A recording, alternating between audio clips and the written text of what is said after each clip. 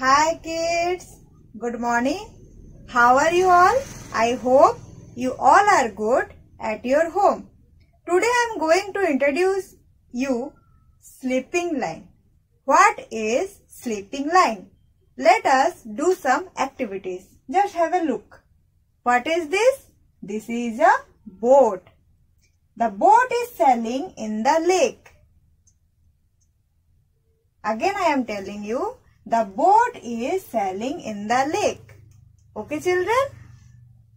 Oh, where is the water disappear? Where is the lake? Can we draw this lake? Yes, we can do it. Let's do. This is a lake.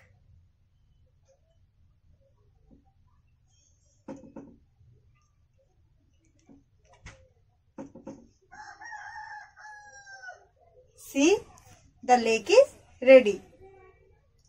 Now, the boat is sail in the lake.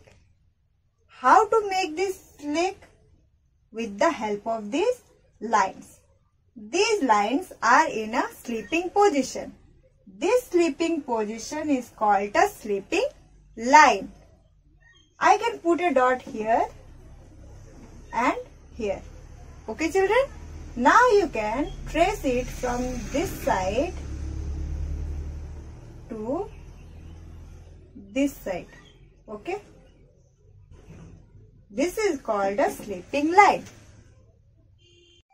Now children, how to draw a sleeping line in your English copy.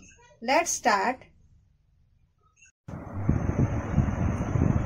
Let us draw sleeping line with the help of dots.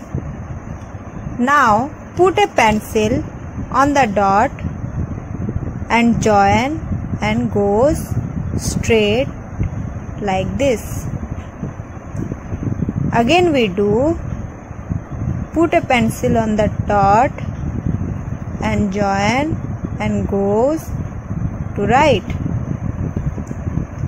left to right left to right left to right left to right left to right left to right left to right left to right left to right left to right.